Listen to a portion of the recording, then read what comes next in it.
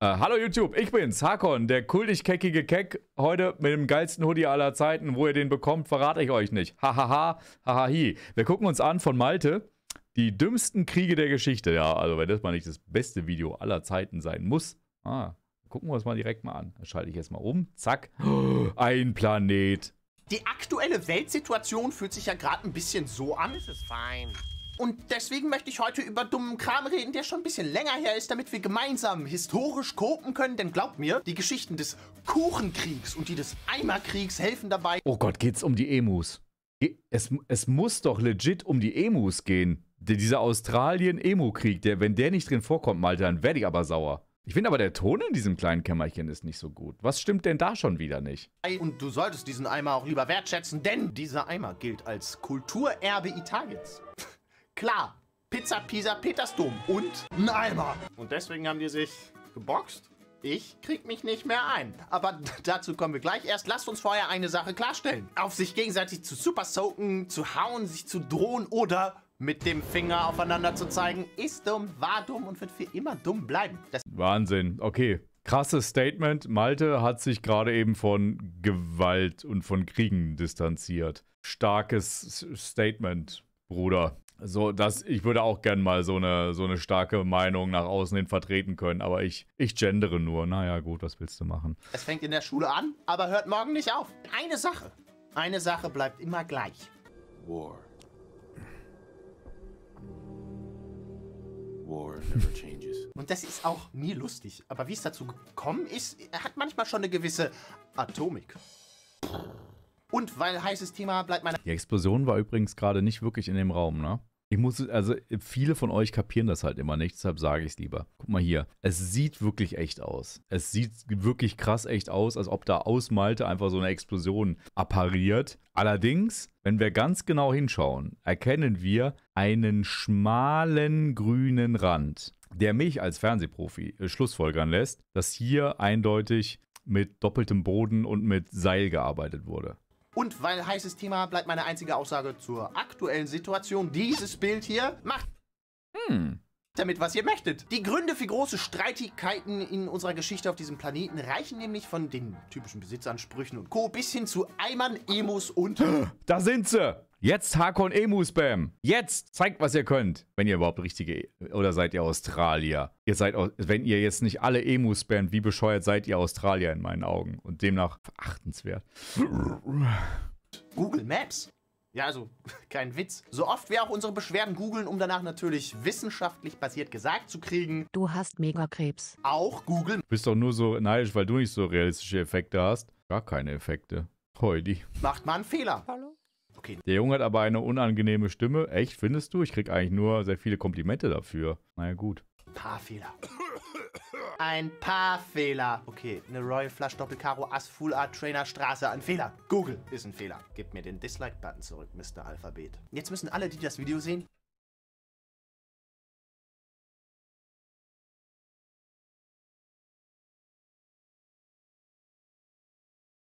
liken, ob sie das jetzt wollen oder nicht. Und das Emmanuel!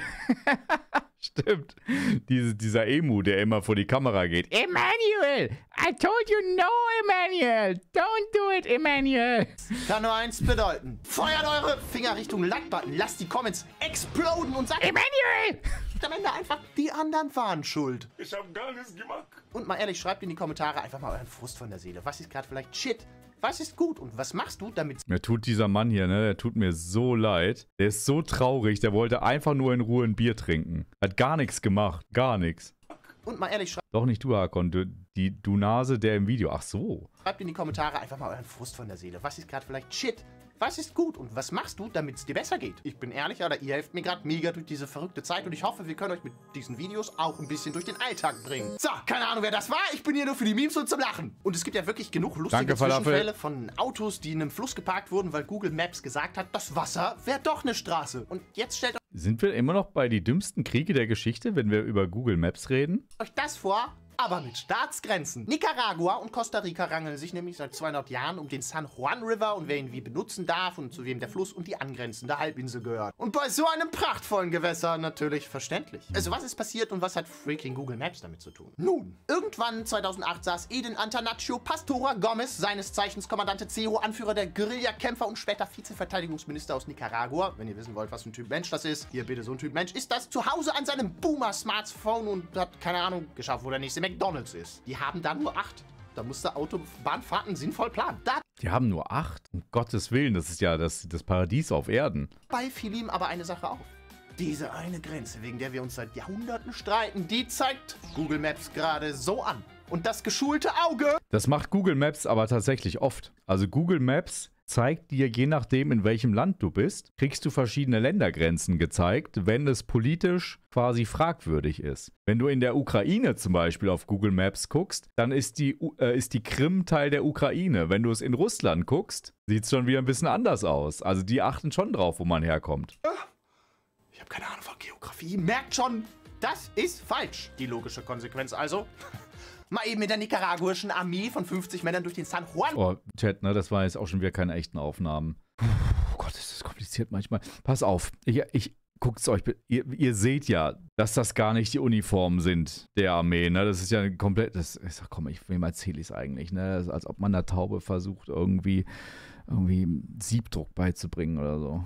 Armee von 50 Männern durch den San Juan-Fluss schwimmen, um auf der Isla Calero, die eigentlich zu Costa Rica gehört, zu campen. Und jetzt nicht so lustig Gravity Falls Lagerfeuer mit Marshmallow campen, sondern Militärcamp mit immerhin 50 Männern. Immerhin äh, 150 Beine.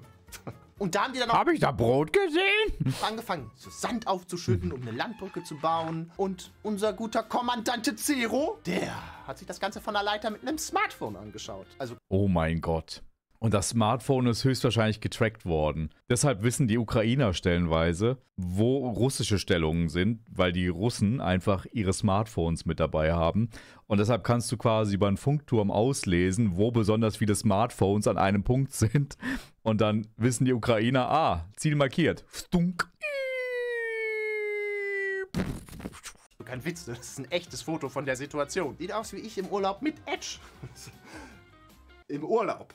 Mir zu Hause in Deutschland. Hat vielleicht die Selfie-Kamera gesucht, keine Ahnung. äh, Aber kurzes Recap. Die haben also irgendwann mal irgendwas gegoogelt und haben gesehen, warte mal, das gehört jetzt uns. Und dann sind die darüber. Das heißt Google Street View, nicht Google Staatsview. So fängt das an, Alter. Das Metaverse ist ein Fehler. Das wäre wie Apple Maps zu benutzen, um irgendwo hinzukommen. Vielleicht erinnert ihr euch noch. Das Metaverse als Fehler zu bezeichnen, würde ich jetzt aber auch als, als groben Unfug bezeichnen. Bloß weil Mark Zuckerberg davon schon, ich glaube, täglich mehrere Milliarden Dollar verliert und die, und die Firma überlegt, ihn deswegen abzusägen, weil er quasi mit Anlauf in der rotierende Kreissäge rennt. Ah, ah. Chat, wer von euch freut. Eins in den Chat, wer sich auch auf das Metaverse freut und auf die Tatsache, endlich als sein Lieblings-Anime-Uwu-Avatar ähm, seinem Lieblings-Content-Creator die Füße zu küssen. Ah, keiner. Sehr gut. noch bestes App-Logo zeigt dir an, du sollst von der Brücke springen. Gute alte Zeit. Anyway, Land überfallen, weil die Karten spinnen? Nee, du bist nicht du, wenn du hungrig bist, isst man Nicaragua. Und jetzt könnte man natürlich die gesamte Schuld auf Mr. Google Schäm dich, Malte. schieben, wie so ein YouTuber, der Scheiße hochlädt, sich keine Mühe mehr gibt und dann sagt, der Algorithmus würde ihn bestrafen. Ich meine, selbst Bing Maps hat das hinbekommen, aber nein. Also wer, wer, wer benutzt denn Bing tatsächlich? Oder Internet Explorer? Habe ein bisschen gelollt. Ja, schade eigentlich. Microsoft. Also niemand. Bing ist Teufelswerk. Kenne niemanden, der Bing verwendet. Also wirklich nicht. Normalerweise kennt man ja immer irgendjemanden, den man verheimlichen möchte. Aber ich kenne wirklich keinen Bing. Was ist Bing? Siehst du, da geht's schon los. Die Frage ist vollkommen berechtigt. Ich in Excel, meine Firma ist noch in der Steinzeit. Vielleicht, Kembura, wäre bei dir auch Hakon Helferlein angebracht. Äh, vielleicht, könnt, Chat, könnt ihr mal kurz Hakon Helferlein für Kembura aktivieren, wie sie sich quasi eine gescheite Besuchmaschine verwenden kann. Die Daten basierten auf US-amerikanischen Kennen welche, die benutzen Bong. Karten, die vom Außenministerium offiziell für so eine Kartierung zur Verfügung gestellt wurde. Also statt haha Google, haha USA. Beziehungsweise haha derjenige, der die Scheiße übertragen hat. Also doch, Haha, Google. Unterm Strich fand Costa Rica jetzt aber nicht so geil und dann haben die ihre Das war jetzt aber echt. Armee rübergeschickt. Fun Fact an der Stelle, Costa Rica hat gar keine Armee, also sind da 70 Polizisten hingegangen. Die Fuerza Publica und die haben dann da, keine Ahnung, in eine Trillerpfeife gepustet und den Nicaraguan gesagt, dass sie äh, im Flur nicht laufen sollen oder so. Aber, springender Punkt für uns, das Ganze wird tatsächlich als militärischer Konflikt bezeichnet, bei Costa Rica halt nur militärisch. Neben Gab es nicht mal irgendwie was, wo die, wo die, wo die Italien, wo, wo die Liechtensteiner Armee einmal aus Versehen durch Italien gelaufen ist, weil, also so ein paar Meter Feldweg, weil sie einfach nicht drum herum gehen konnten und die sind irgendwie mit 80 Mann sind die losgezogen und mit 81 zurückgekehrt, weil irgend so ein Italiener gesagt hat, ich ziehe jetzt mit euch nach Liechtenstein, ihr seid meine neuen Freunde. Ist wahrscheinlich auch so ein urbaner Mythos, den man erzählt. Costa Rica hat übrigens nur Island keine Armee, aber gegen was soll man da auch kämpfen? Vulkanasche, Ponys? Nicaragua hat sich Boah, so ein Vulkan. Oh, wir müssen nach Island. Chat, wir müssen nach Island ziehen. Die haben lauter Vulkane. Die haben vor allen Dingen den Ötfjalala Lötel, Ötel, Dötel, Dökel da Vulkan, der vor ein paar Jahren den ganzen Flugverkehr lahmgelegt hat. Den brauchen wir wieder. Den Ökfjalala Dötel, Ökel, Dökel. Der kann uns alles lahmlegen. Mit dem stoppen wir sogar, mit dem stoppen wir sogar RWE. Nimmst du mich mit? Du bist schon fest eingeplant, Kuf. Ich habe schon, da- ich habe sogar schon einen ganzen Koffer für dich gepackt. also breit gemacht und Laura Chinchilla, damals Präsidentin von Costa Rica, und ja, das ist wirklich ihr Name und ich finde es toll, und der stellvertretende Außenminister Carlos Bild ist sehr hochauflösend. Wenn ihr, wenn, äh, wenn ihr hier Probleme habt, irgendwas scharf zu sehen, solltet ihr euch eine Brille besorgen. Von meinem neuen Werbepartner Robin Look. Mit dem Code HACON23 Dioptrien bekommt auch ihr dort eine Brille ganz nach Maß geschneidert. Roversi haben dann aber die UNO Roversi-Karte gespielt und gesagt, Google, fix your sh Und da hat Nicaragua aber ganz laut geschrien. Nein. Und dann hat Amerika und der Rest der Welt 2015 Doch. gesagt und ja, seitdem ist das Ding so wie vorher. Google Maps Krieg? und wenn ihr das jetzt zu Recht albern findet, schaut Und Dänemark ist seit Jahrzehnten mit Kanada im Krieg wegen der Insel bei Grönland. Die marschieren da immer ein, nehmen die kanadische Flagge ab, hängen eine dänische hin und lassen Schnaps für die Kanadier da, Whisky für die Dänen, äh, wie die, äh, die, also die, also, nochmal, eine dänische hin und lassen Schnaps für die Kanadier da, die Whisky für die Dänen da gelassen hatten. Ich habe gehört, auch das ist ein Mythos, der nicht wirklich stimmt. Ich glaube, ich glaube, diesen Konflikt gibt es nicht mehr. Danke für die Aktivierung des Helferleins, Don. Offenbar habe ich versucht, einen geraden Satz zu formulieren und brauche Hilfe. euch doch einfach mal die Krim von verschiedenen Servern Da, da, wa- ich hab's doch gesagt. Guck, hier gehört sie zu Russland, harte Grenze. Hier gehört sie nicht zu Russland, Krickelgrenze. aus auf Google Maps an. Anyway, zurück zu den wichtigen Dingen im Leben. Ihr habt ja den Konsolenkrieg in den 90ern vielleicht nicht mitbekommen. Dafür aber Android versus Apple. Und wir Ja, ey, ich hab, ich hab mir einfach immer alles gekauft, gell? Ich hab mich nie entschieden. Ich hab mich nie entschieden. Ich hab einfach immer alle Konsolen gekauft, Computer, ne? Alle, einfach auch alle Handys. War halt schon immer reich, ne? Das ist so wie ausgelebte Bisexualität, Chat, ne? Warum auf irgendwas verzichten, wenn doch alles da ist? wissen ja alle, wer das gewinnt, oder? Oder schreibst du mal mit deinen Tindern Oder? Verschonten Griffeln in die Comments, Apple oder Android und schickt den Aufklärungstrupp Richtung Abo-Bombe und befreit die heilige Glocke aus den Händen des Wesens. Oh, es kauft. Oh, es kauft. Oh, Vorchel, super, Sorge. Sauber, Sorge. Dieser Satz. Oh, es kauft, oh, einfach. bösen Algorithmus, der dieses Video bestimmt nicht mag. Und damit, hey Leute, ich bin's wieder, der Aufklärungsboomer aus dem Internet. Und wir sprechen heute über die dümmsten Auslöser für Auseinandersetzungen und Gefechte der Welt. Weil Jetzt komm endlich mit dem Emo-Krieg. Wir haben extra ein Emote dafür. Alter, ich lache zu sehr gerade. Es tut mir leid, Zündkatze. Nachher bringe ich dich wieder zum Weinen. Krieg ist nicht lustig, aber die Gründe vielleicht. Und wenn ihr euch beschweren wollt, dass das Intro auf Seite 5 kommt, unser Sekretariat hat eine Stunde nach Video-Release in den Kommentaren geöffnet. Das Wort Krieg kommt eigentlich aus dem altdeutschen Verran, was so viel heißt wie Verwirrung anrichten. Und die Palmen auf der Costa Rica-Insel, die waren verwirrt, als da jemand mit Google Maps, aber ohne Empfang auf einer Leiter stand. Guck mal hier, Sabine, ne? Hier steht, hier steht, das Hack leicht anbraten. La leicht anbraten und später die Soße aus der Mehlschwitze hinzugeben, ne? Okay. Hm, Verstehe. stand. Pures Chaos. Auf Neudeutsch nennt man das heutzutage aber auch Guck mal hier, ne? Hier die Nachbarn von nebenan, Sabine, ne? Die sind schon wieder in Urlaub gefahren hier.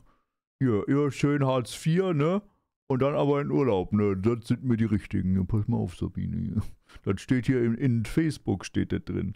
Smash. Okay, das ist ein bisschen zu gruselig.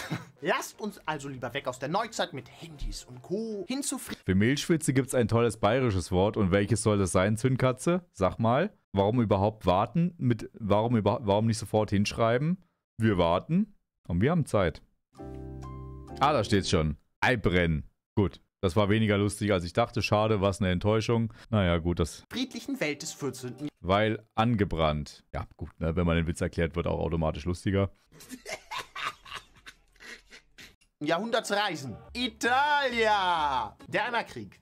Habe ich mir nicht ausgedacht, gibt einen Wikipedia ein. Eimerkrieg? Zeig mal Eimer. dazu. Die ganze Geschichte dav- davon gibt es aber natürlich auch in lyrischer Form als Gedicht. La Secchia Rapita, zu Deutsch der geraubte Eimer. Schnörkelig geschrieben, reimt sich viel, gute Nutzung von Paareimern. Aber wir sind ja hier nicht fürs Reimen, sondern für die Facts. Und ganz ehrlich, die Bologneser greifen 1325 in der Schlacht von Zappolino di Modenesa vor der Festung Monteveglio an. Bolognese? Hm, lecker. So, und so fängt Faschismus an. Habt ihr toll gemacht, Chat. Ihr seid, ihr seid solche Mitläufer. Ich ekel mich vor euch. Wie ihr einfach darauf hört, was irgendjemand euch befiehlt. Und alle stehen sie in Reih und Glied bereit, um den Faschismus die Tür aufzuschließen. Ich, es reicht mir mit euch, wirklich. Das klingt doch wie ein Rezept für einen Nudelauflauf. Jedenfalls ging es bei dem ganzen Konflikt um die unterschiedlichen Ich spucke auf eure Eimer. Politischen Ansprüche des heiligen römischen Kaisers und die des Papstes. Modena hat die Ghibellinen Ich hab nicht mitgemacht. Ich war im Widerstand. Ich war nie dabei. Ich habe ich hab sogar andere aufgefordert, aufzuhören.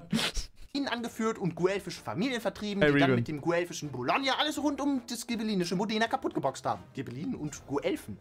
War das also der erste Guelf-Krieg? Legolas, einer der stärksten Guelben? okay, stopp.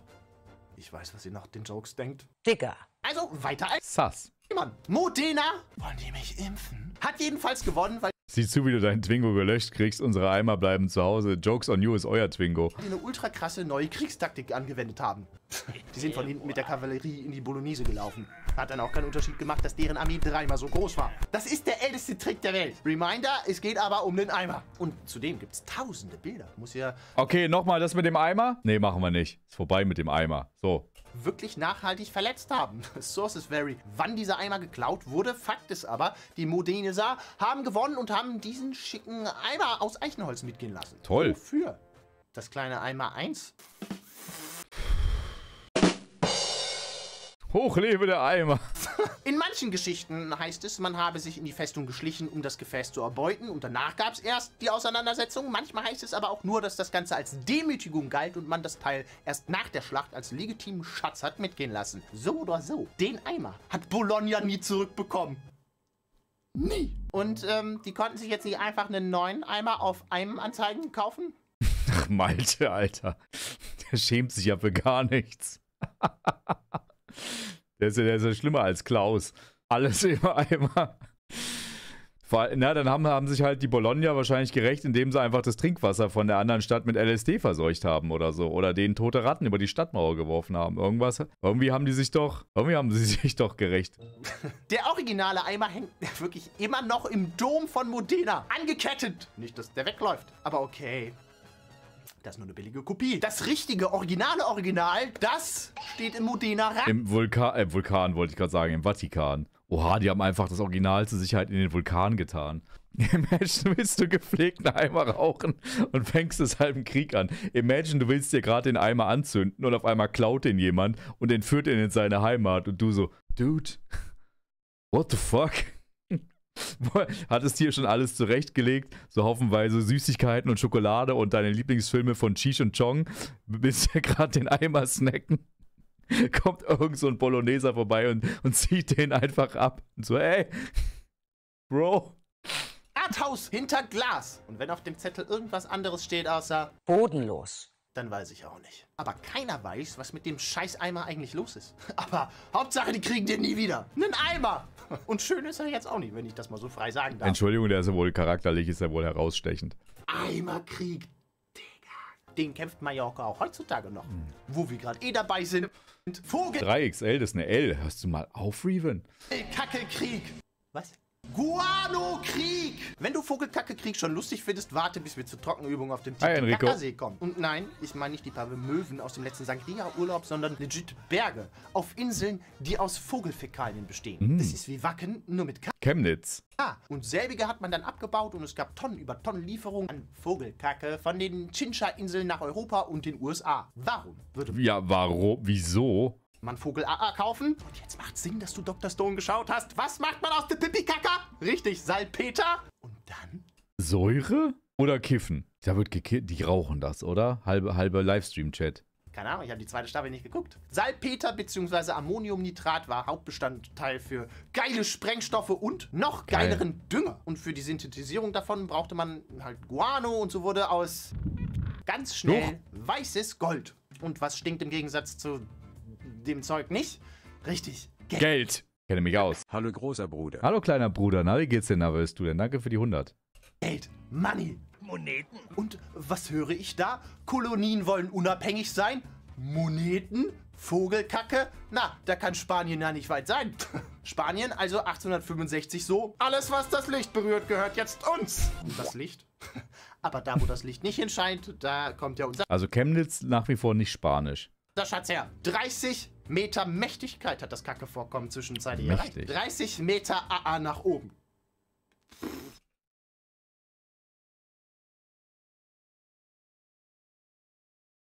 That's huge. Heutzutage ist die Insel, by the way, unbewohnt, at least von Menschen. Früher haben da aber tatsächlich indigene Völker tatsächlich Strukturen gebaut und gelebt. Ich frage mich, ob deren Leben ziemlich beschissen war. Ha? Malte hat zu viel Spaß an diesem Video. Ich grenze ihn sofort ein.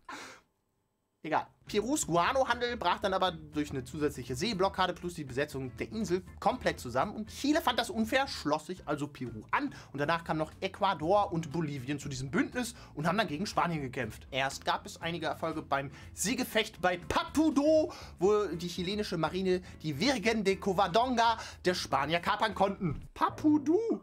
Papu, Papudu. Dann sind die Peruaner ein paar Monate aber mit der Fregatte Amazonas gegen den Stein gefahren und abgesoffen. Das ist, das ist doof. Dann wiederum haben Das ist doof, ja, ne? Blöd, wenn man an Bord von dem Schiff ist. Kann kann einem schon echt die Petersilie verhageln an dem Tag. die Briten es im selben Jahr geschafft, gegen die Ratteninsel zu crashen und die ist, die ist wirklich nicht groß. Aber voller Ratten! Vorher waren da auch viele Vögel äh, mit entsprechend viel Wert. Okay, Jungs. Steckt die, steckt die Hosen in die Socken. Wir bekommen Gesellschaft. Week, week, week. Voller Kacke, aber die Ratten, die dann über die Jahre mit den Schiffen an Land kamen, haben deren Eier gegessen. Ich kann aber voller Stolz behaupten, Red Island ist jetzt offiziell Red-Free. Jetzt ist es nur noch Island. Das ging jeden Park und ich suche dich erneut heim. Oh nein. So beantworte mir folgende schaurige Frage. Nein. Über einen Widerstand von 10 Kiloohm falle eine Spannung von 50 Megavolt ab. Welcher Strom fließt durch den Leiter und welche Leistung fällt an ihm ab? Hubobohuhuibu. Ökostrom, Herr Schmökel. Und die Leistung ist eine 2 plus auf meinem Abschlusszeugnis.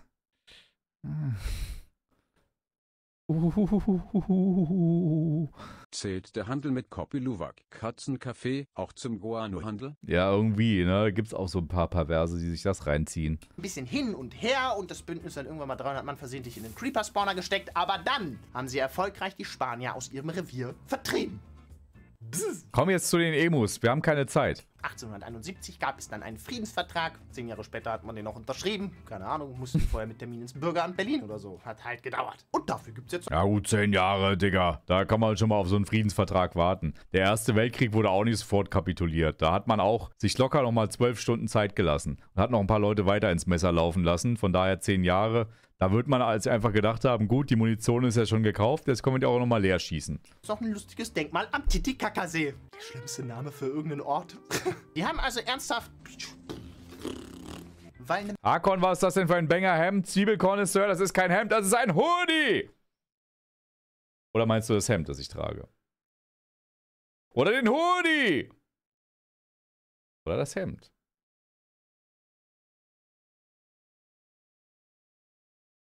Beides in Kombination. Ja, das hier, ähm, das weiß man nicht, wo man das kaufen kann. Das werde ich auch niemandem verraten. Und das hier ist, äh, sage ich auch nicht. Menge Shit da war. Oh ja. Ne, äh, unterm Oberflächenstrich kann man sagen, da war die Kacke aber ordentlich am Dampfen, weil ist ja heute auch wieder ein Thema, Dünger ist wichtig. Dann haben die sich halt gezankt und mit Scheiße beschmissen Obwohl, nein, das war viel zu wertvoll. Bis dann 1908 Franz Haber das Ganze via synthetischer Herstellung geschafft hat und dann wollte niemand mehr den Kloakenspender benutzen. Also, äh, weg von Vögeln hin zu Menschen. Menschen, Menschen. Männer sind ja das eine, trinkende Männer das andere und Fußball ist nochmal ganz anders. Wild. Und dass Fußball grundsätzlich Papatastisch. ja ein gefährliches Streitthema ist, weiß vermutlich jeder von uns. Einmal Werder Bremen sagen und laufen reicht, um die Erfahrung zu machen. Good morning, Glenn.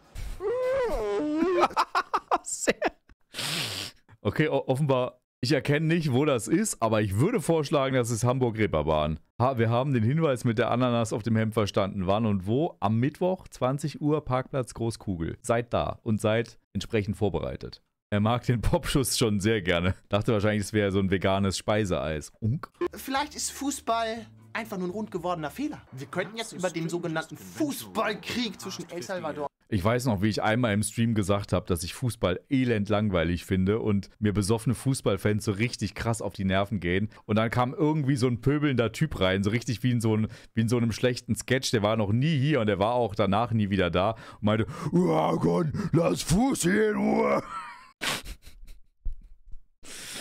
Ja, musste ich, äh, muss, muss ich gerade mal lachen, gehen. Muss ich gerade mal lachen. und Honduras reden, aber was? Was, wenn ich dir sage, dass dieser Fußball in Wahrheit ein Kuchen ist? Everything is cake. Und Marie Antoinette hat das ja schon damals für uns festgehalten. Kuchen ist wichtig. Bei Kuchen hört der Spaß auf. Das hat sie Kuchen-TV ist auch langweilig, ne? Und geschmacklos. Ich wurde letztens von jemandem angebrüllt, ich soll den Zaun in Ruhe lassen. Das, jetzt lass aber auch den Zaun in Ruhe, es nervt langsam. Du bist so zaunfeindlich hier, Skurradasula. Ich weiß überhaupt nicht, was ich überhaupt noch von dir halten soll. die französische Wir sind hier ein Safe Space auch für Zäune. Regierung auch gedacht, als sie halb Mexiko wegen Kuchen von der Landkarte streichen wollten. Aber von vorne. Im schönen Jahre 1832 saß Monsieur Remontel in der neuen Welt, in der er eine kleine Boulangerie eröffnet hatte. Fußball ist. Okay, pass auf. Ich gebe euch die Möglichkeit, mal was eine ernste Antwort zu geben. Mögt ihr wirklich, und ich möchte euch eine ehrliche Antwort haben, eins in den Chat, wenn ihr wirklich gerne Fußball guckt. Zwei, wenn nicht. Es ist okay, ich werde das jetzt nicht bewerten, ich will es einfach nur wissen. Christel hat eine Eins geschrieben. Hm. Eschke, Dynamo Dresden. Die, die, Dynamo. Okay, gut. Dynamo Dresden ist ja selbstverständlich Kult, der Don, ne? Dankeschön. Okay, niemand mag Fußball. Schade Schokolade, kann man nichts machen. Aber äh, schon okay. Ein französischer Siedler, ein Vorreiter, stolz, patriotisch. Aber dann, auf einmal, hörte er etwas an der Tür. Pfiffige mexikanische Soldaten. Auf, Das ist echt. ab. Und dann haben halt zwölf mexikanische Soldaten im Vollsuff seinen Laden und seinen Kuchen kurz und klein geschlagen und noch schlimmer, geklaut. Daraufhin zu Oh nein. Der schöne, der schöne Kuchen. Nicht das Grubenhaus. Empört hat er dann dem Warum klauen die kleinen geschlagenen Kuchen? Ich glaube, der trägt sich besser. Wenn du so kleine Portionen kann man sich besser in den Mund schieben. Gegen Merkel. Buh, Merkel, buh. dem französischen König Louis Philippe geschrieben. Bonjour, Bré. 60.000 Pesos oder... Oder was? Oder Frankreich verliert sein Gesicht. Frankreich hat doch gar kein Gesicht. Die haben eine Flagge und Baguette. Wir waren mal eine Zeit lang, waren wir hier mal Franzosen auf dem Kanal, ne? Das ist aber irgendwie, irgendwie ist das unter den Tisch gefallen, dass wir vergessen haben, wer wir sind. Wir haben, irgendwann haben wir mal zwischendrin vergessen, wer wir sind und haben unser französisches Erbe mit Füßen getreten. Das weiß ich noch ganz genau. Naja, gut, kann man nichts wohl machen. Sad Gat. Also hat Philippe dem guten Wie viele Franz? Anastasio Bustamante, damals Präsident von Mexiko, genau das geschrieben. 60.000 Pesos. Und Mexiko so? Ja, und dann?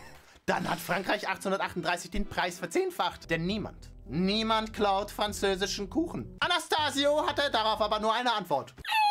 Und dann Kekwe ist auch wirklich das beste Meme. sind die Franzosen halt mit ihrer Flotte hingefahren, um diesen Eindruck zu schinden. Wegen. wegen Kuchen. Und Mexiko? Was ist dein Lieblingsfranzösisches Wort? Äh, nein, doch, oh. Das also alles nicht gereicht hat, haben die Franzosen ihren Monstermörser Wir reden hier immer noch über Kuchen, ne? Holy, holy Bamboli. ausgepackt und erstmal alle möglichen Schiffe versenkt und dann gedroht, einfach mal die Häuser zu mörsern. Was für ein Rohr. Ahaha. Ja, wobei mein Lieblingsfranzösisches Wort ist, glaube ich, Larage, wenn ich mal so drüber nachdenke. Und der ganze Text von dem Song, den ich jetzt gerade nicht kann. Und spätestens bei dem Wort Monstermörser oder im OG Mortier Monstre. Das klingt irgendwie nicht so eindrucksvoll. Hätte ich Kuchen da. Hätt ich dich heut erwartet, hätt ich Kuchen da. Kuchen da. Das Einzige, was schade ist, ist eigentlich, dass ich diesen Hoodie hier nicht als Zipper habe. Weil wenn ich den als Zipper hätte, könnte ich einfach mein kultiges neues T-Shirt so, so drunter tragen, ne? Also verkehrt rum, glaube ich. So, so rum gehört das. Dann könnte ich einfach, aber ich werde aber jetzt, ich werde vielleicht einfach so, oh, das... Chat hier drin riecht's gut. Es riecht so ein bisschen nach frisch gewaschener Wäsche und einem frischen Druck auch.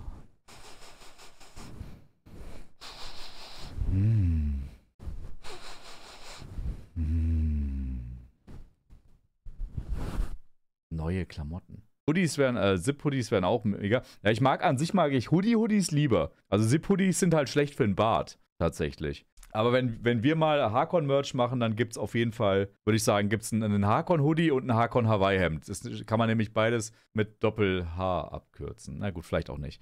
Aber spätestens als die Teile ihre monstermäßigen Granaten abgefeuert Hinten an die Wand hänge ich häng dich gleich mal hinten an die Wand. haben, war Anastasio dann eher so drauf. Monstermörser, Alter. Der ist echt monstermäßig. Monstermörser mal lieber den Like-Button endlich weg. Da hat aber dann der Ex-Präsident von Mexiko, Antonio Lopez de Santa Anna seine Chance gewittert, seinen Platz zurückzuerlangen, indem er die bösen Franzosen in die Flucht schlägt. Und dann hat ein Monstermörser ihn eine Knielänge kürzer gemacht. Bruder, es geht immer noch um Kuchen. Naja, das Ende vom Lied. Mexiko hat dann also zähneknirschen 600.000 Pesos an Frankreich gezahlt. Und dann hat Ex-Präsident Antonio Lopez de Santa Anna seinen Platz tatsächlich zurückerlangt, Julian. indem er einfach allen Leuten gezeigt hat, dass er kein Bein mehr hat und dass er eine patriotische Höchstleistung war. Monstermörser. Ich stelle mir das so vor, die, Poli die Politiker der damaligen Zeit, ich glaube, da muss man nicht gendern, die haben einfach gedacht, gut, es geht ums Prinzip, wir schießen so lange auf alles, was sich bewegt, bis irgendjemand, bis, bis die anderen aufgeben. Und die ganzen Soldaten und, und Mütter der Soldaten damals so, Dude, what the fuck? Mein, mein Sohn wurde von. Mein Sohn wurde von drei Franzosen mit Bajonetten totgeprügelt wegen Kuchen. Ich, ich, ich will's doch nur verstehen. Überlebt. Fucking Kuchen. Ich war ja auch schon mal wegen einem Bienenstich sehr sauer.